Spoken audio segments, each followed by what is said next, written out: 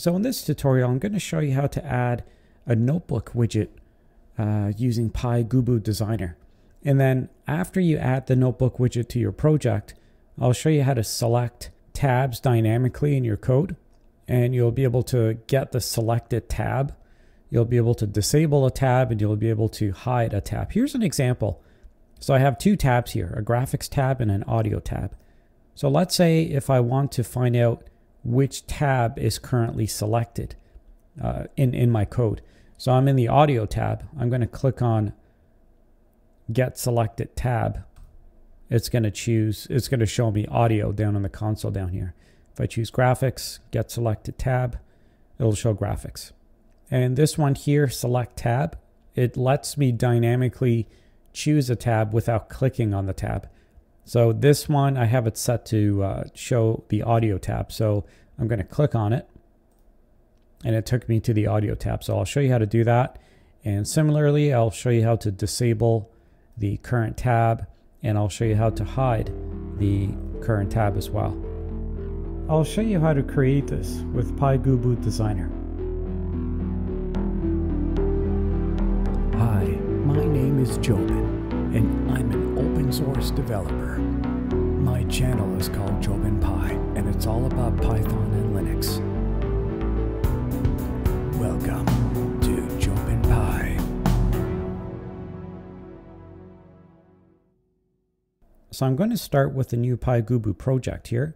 So under containers, I'm going to add a top level and I'm going to add a frame in that top level. Within that frame, I'm going to go to control and display, or actually, no, sorry, it's under containers. And I'm going to add a notebook widget. So now we have a notebook widget here, even though it doesn't seem like we have a notebook widget, it's actually there. A notebook widget needs tabs in order for it to, uh, to do anything meaningful.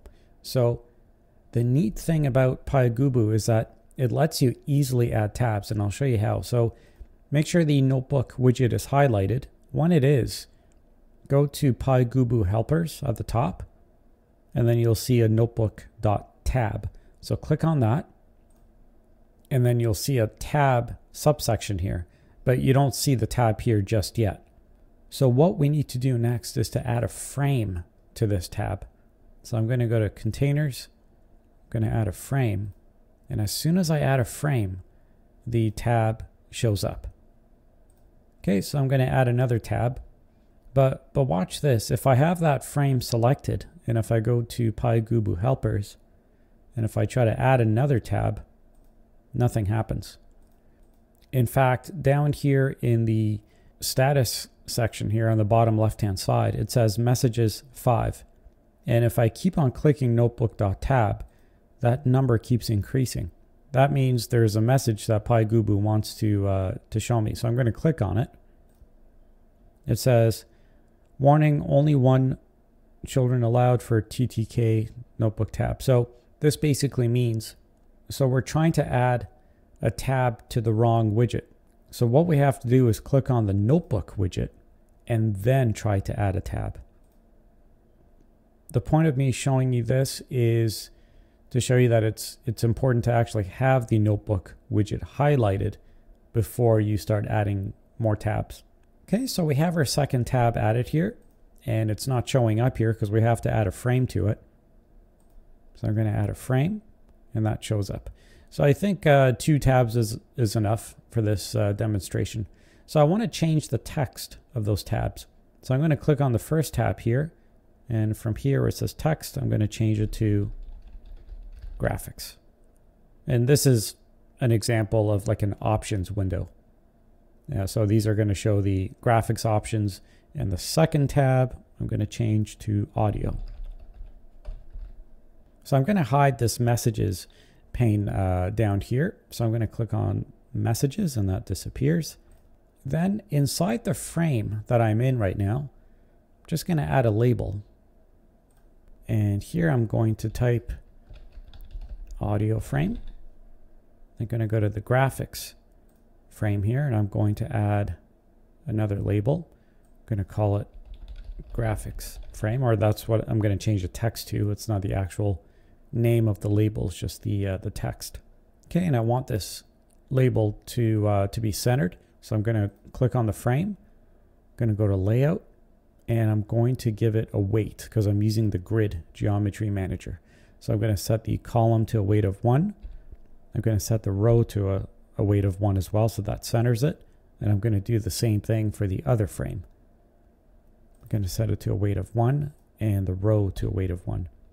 And this this has nothing to do with the notebook widget. This is all based on the grid geometry manager um, specifically for this frame and this label. So now if I preview it, this is what it looks like. This is what we have so far. But notice how the notebook widget is really close to the edge of the window. So we should add some padding to make it look a little nicer. I'm going to click on the notebook widget and then under pad X, I'm going to put in 10. This is in the layout tab, by the way. And under pad Y, I'm going to put 10. There we go. So that looks a bit better. So we have uh, some padding around it. Okay, then at the very top, I'm going to add another frame outside of the um, notebook widget. Actually, maybe not at the, yeah, actually I will. At the, at the very top here, I'm going to add a frame. So it's going to go down here. And I'm going to start adding some buttons, which will uh, be used for this demonstration. So the first button, I'm going to set it to select tab. I'm going to right click and duplicate. And from here, I'm going to set the second one to get selected tab. I'm going to keep going. The third one, disable tab. And the last one, hide tab.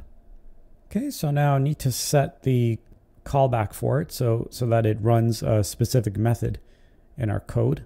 So for the first one, select tab, I'm going to put in on select tab button clicked. For this one, on get selected tab button clicked. For the third one, on disable tab button clicked. And the last one on hide tab button clicked. Okay, so it's going to run these methods whenever the, uh, the, the button gets clicked. So on the select tab button, it's going to run this method. On get selected tab, it's going to run this method. So we haven't obviously made those methods yet, but we need to tell it which methods we want to run. So now I'm ready to generate the code for this project. So I'm going to go to code and it's automatically generated here for me. If, if it's not generated for you, just click on the generate button. I'm going to copy it to the clipboard. And in my Python IDE, I'm just going to paste it and I'm going to run it. I just want to make sure it works. Now I've, I've actually saved the user interface file, like the UI file in this project. So if you need to do the same, then you would just have to go to File, Save As, and it'll save it as a UI file. And just make sure that UI file is in the same folder as your Python project. Okay, so I'm going to run it now. So now this is in code, and you'll see here I have notebook widget demo.ui, which is the file that PyGubu uh, saves for me. So I'm going to run it just to make sure it opens up, and it does. If I click on these buttons, nothing happens, which is fine. Okay, so I'm going to program the, the first one, select tab. What do I want this button to do? I want it to select the audio tab. So I want this to select the second tab for me automatically. So how do I do that? So I'm going to put in pass here for now because there's something else I need to do here.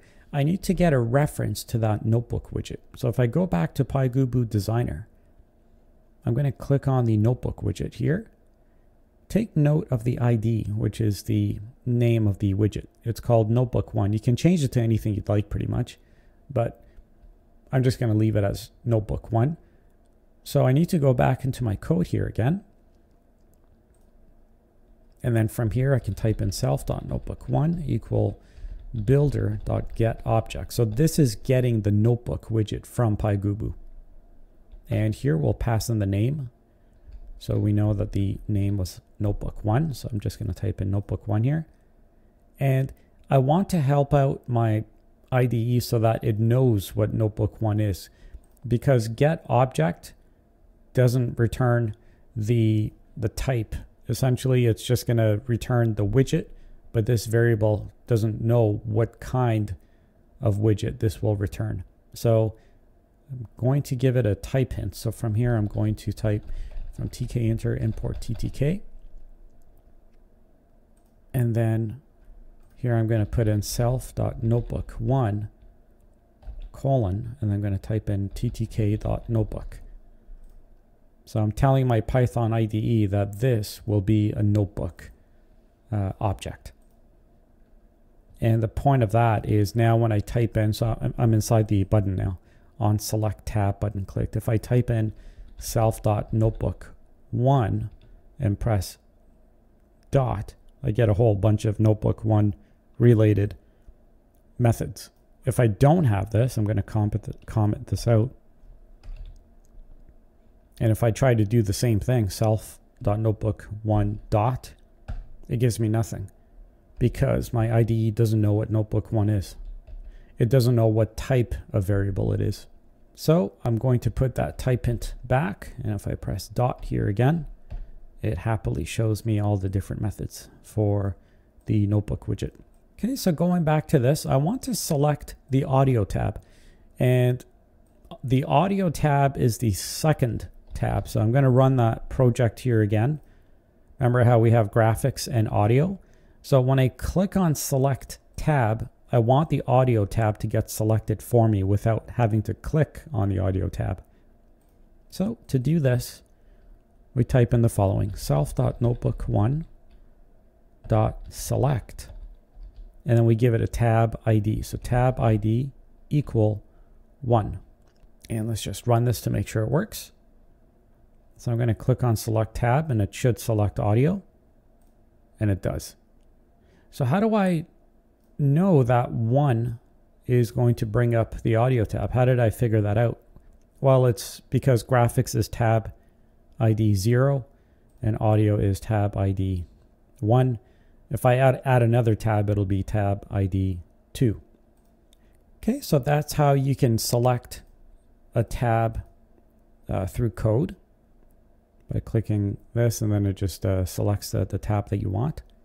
The next one is get selected tab button click. So this one, get selected tab. So I want to know which tab is selected through my code.